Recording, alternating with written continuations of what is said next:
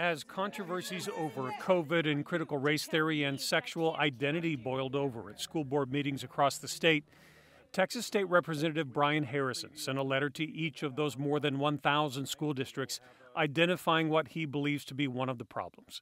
The Texas Association of School Boards, the independent agency that says it promotes educational excellence for Texas school children through advocacy, visionary leadership, and high quality services to school districts not the way Harrison says conservative parents see it. Their tax money is being weaponized against them, it's being weaponized against their children, and it's being weaponized against their values by funding an organization that is working to push dangerous woke ideology. And Carroll ISD is the first to respond Monday night, planning to vote to end its membership with TASB saying it actively promotes through training and conferences divisive political ideologies, telling WFAA in a written statement Carroll ISD is confident that local control and choice for the services currently rendered by TASB will provide CISD with financial responsibility and community value aligned services.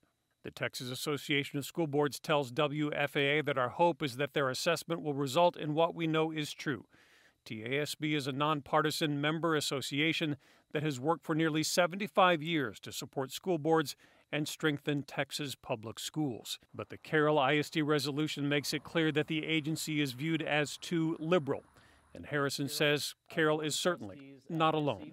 And let me tell you, while Carroll is the first to leave TASB, they will not be the last. In Southlake, I'm Kevin Reese.